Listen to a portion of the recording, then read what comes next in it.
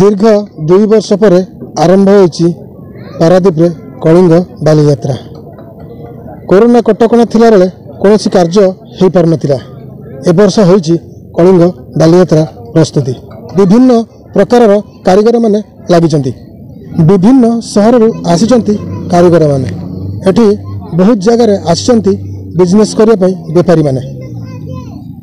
ପ୍ରାୟତଃ ପ୍ରସ୍ତୁତି କାମ ଶେଷ ଶେଷ ପର୍ଯ୍ୟାୟରେ ଆଉ କିଛି ସ- ଘଣ୍ଟା ପରେ ଦେଖିବାକୁ ବାକି ରହିଲା। ପାରାଦ୍ୱୀପରୁ ସଞ୍ଜୟ ଜେନାଙ୍କ ରିପୋର୍ଟ ତଦନ୍ତ ନ୍ୟୁଜ୍।